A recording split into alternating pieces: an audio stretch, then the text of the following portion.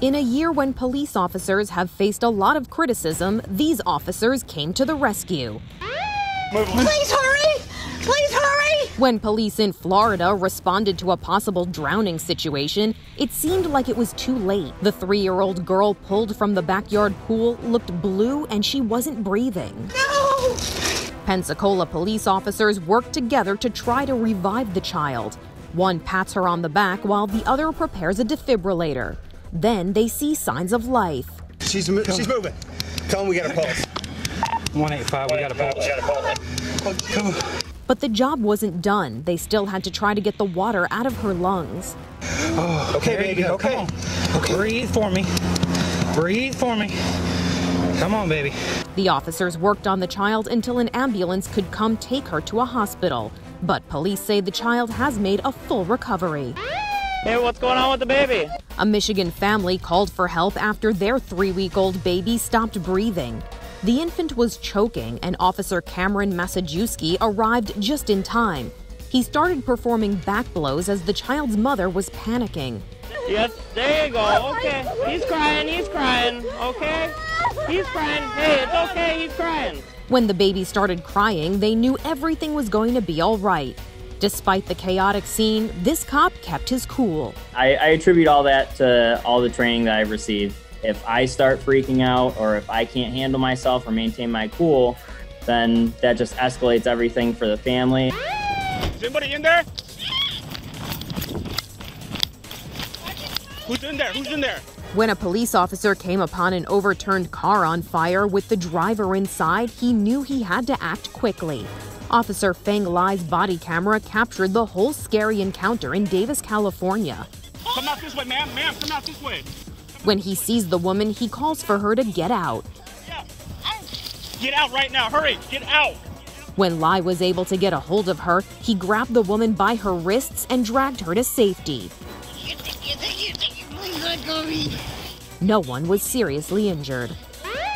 Body cameras show how officers saved a man from a burning house in California.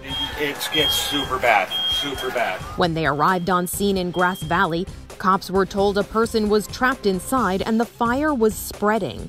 Officers started calling out to the man from the outside. Police department, anyone in here? Hurry!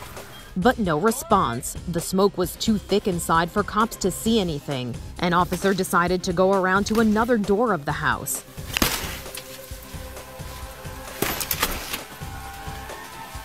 Corey!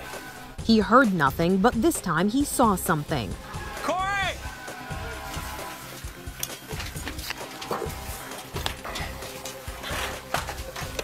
I got him! Go get the medics! The man was unconscious because of smoke exposure. He was treated at a local hospital and recovered. You have a jack? When cops in Mesa, Arizona responded to help a man trapped under his car, they knew time was of the essence. Devin Haycock says the jack collapsed while he was fixing his wife's car in their driveway. The car sitting there crushing my chest. I had just enough room to get small little breaths.